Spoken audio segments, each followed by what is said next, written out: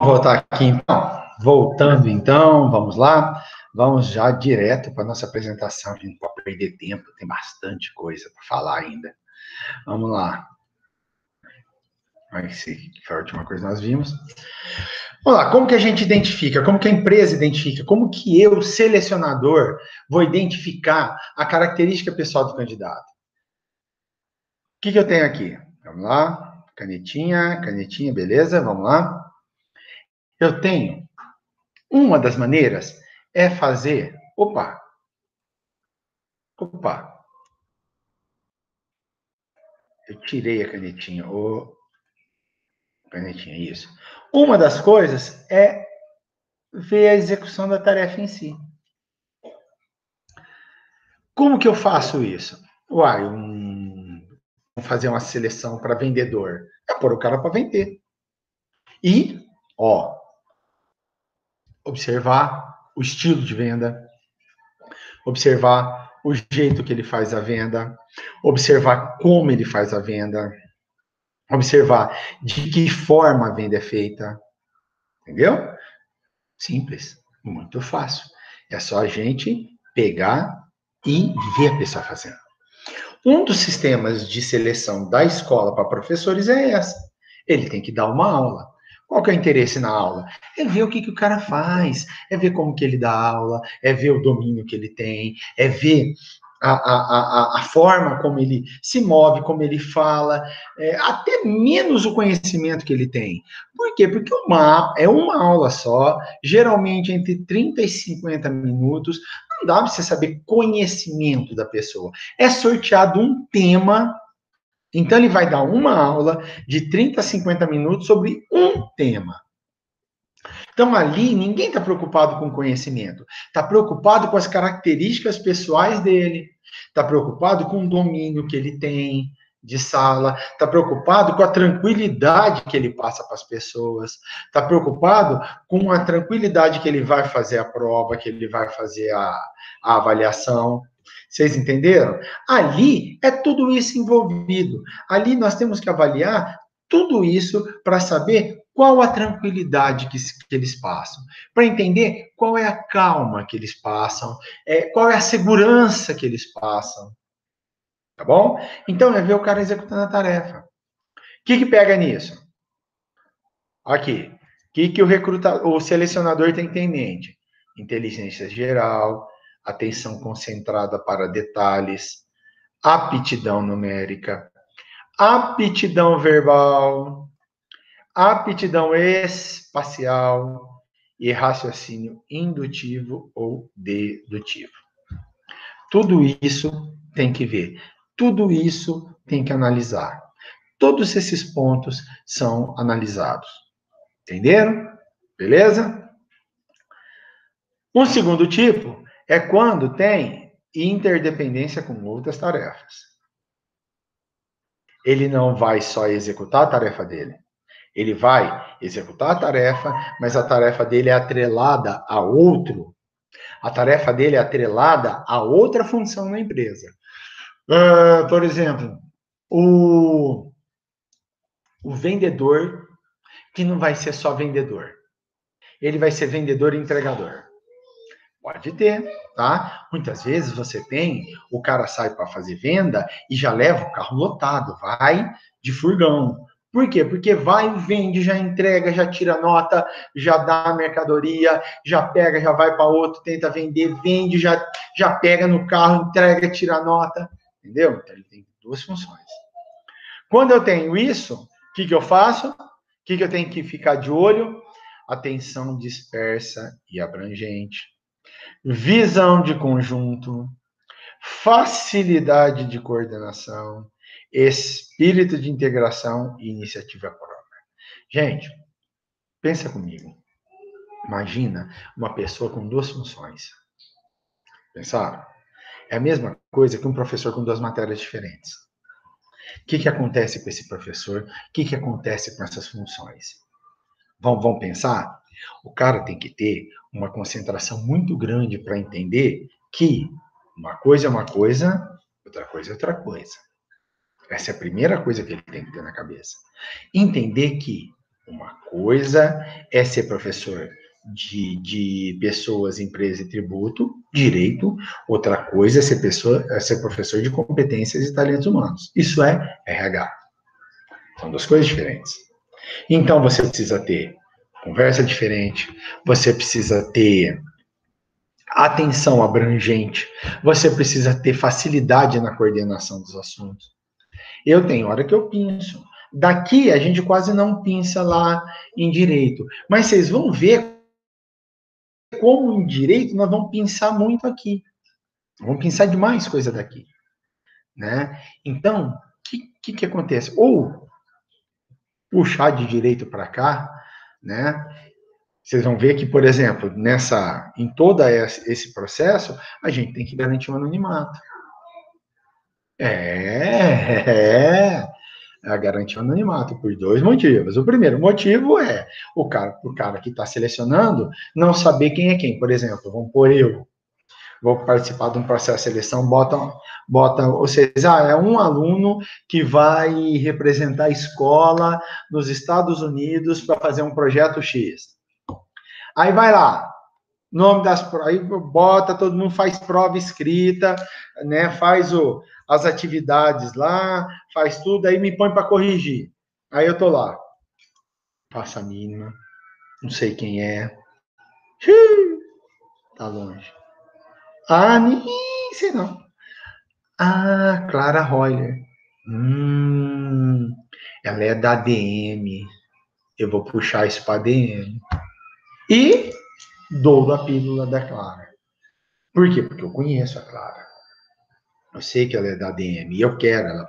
Quero que a DM tenha essas coisas. Esse é um dos motivos. Para que o selecionador não venha conhecer ou conhecer ou conhece alguém que está participando da seleção, e com isso ele dá uma lambadinha, o que, que faz? Anonimato.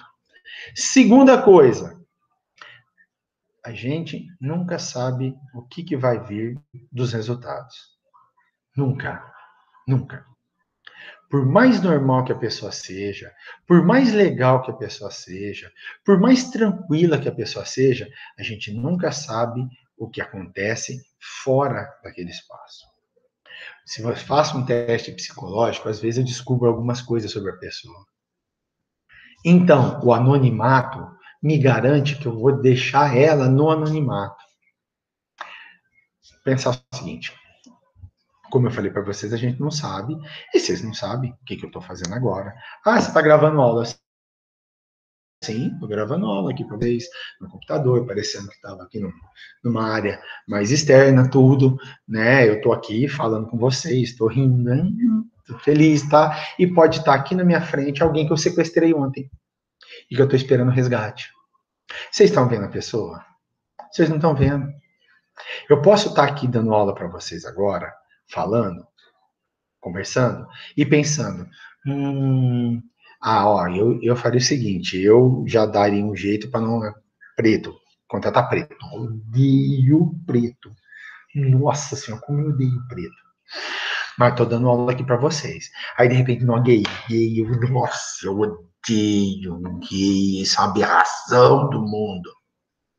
Não pode. Claro que pode. Um teste psicológico, muitas vezes ele é feito para revelar esse tipo de coisa.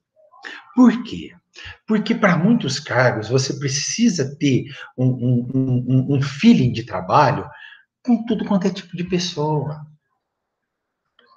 E às vezes faz o teste psicológico para descobrir esses traços de homofobia, esses traços de racismo, esses traços de xenofobismo.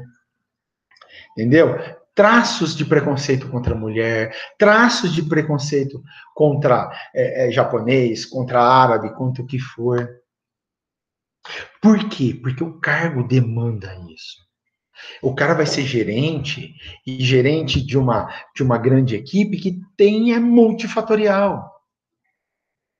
Não é uma equipe homogênea e esse cara não serve para mim.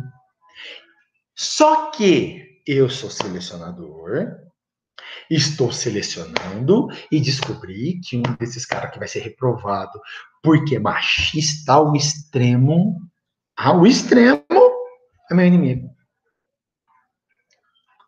Olha o perigo. Olha o perigo de alguém tirar uma foto dessa e cair no, no Facebook, por exemplo, Instagram, WhatsApp. Vocês entenderam? Por isso que todos esses testes, eles são extremamente sigilosos e todos sem identificação. Todos. É no máximo identificado por número. Um ou outro só que sabe quem são cada um. Aí, ó, o candidato 6. É o candidato 6? É beleza. Passa para alta administração. É o candidato 6. Aí eu sei quem que é. Eu tenho a lista. A lista de nomes. Eu sei quem é o candidato 6. Então eu posso dar continuidade, porque eu sei quem é o 6. Agora, os outros sabem apenas que o 6 foi. E que o 7 reprovou porque o 7 é machista. Tá bom? Para isso que a gente faz esse tipo de, de características pessoais. Para esse tipo de. faz esse tipo de teste. Interdependência com outras pessoas. Olha, tá vendo? É o que eu acabei de explicar para vocês. Às vezes você vai gerenciar uma grande equipe que é heterogênea para dedéu, tem de tudo na sua equipe. Então você tem que saber trabalhar com mulheres, você tem que saber trabalhar com gays, com japonês, com alemão, com italiano, com negro, com índio, com, com bobo, com chato, com todo mundo. Tá bom? O que, que nós vamos procurar nisso aqui? Capacidade de relacionamento humano, habilidade interpessoal, colaboração e principalmente, eu vou até trocar. Eu vou até trocar. Vem cá, marca texto,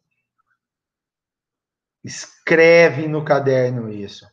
Cooperação muita cooperação. Opa, outra, quociente emocional. Professor, o que, que é isso? Aguenta a mão, logo, logo nós vamos bater um papo sobre inteligência emocional e eu vou mostrar para vocês que hoje ninguém usa mais o QI para contratação. O QI está em, tá em, em queda livre está em desuso. O uso agora é que é, é consciente emocional, é inteligência emocional. Tá? E para vocês verem como esse assunto é importantíssimo para tudo quanto é tipo de, de profissional, só eu já estou com quatro certificados de curso de inteligência emocional. Tá bom?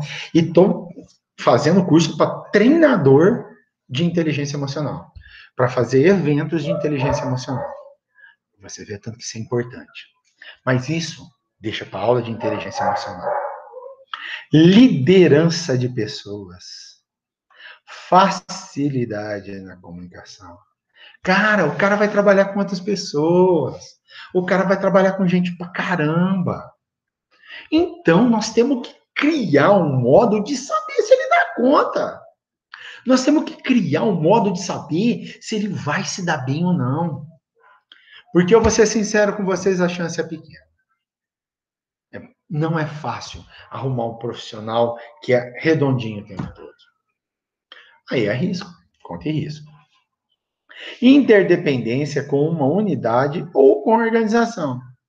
Aí eu tenho que saber se ele conhece a organização, se ele tem habilidades para isso, se ele tem uma capacidade de julgamento legal.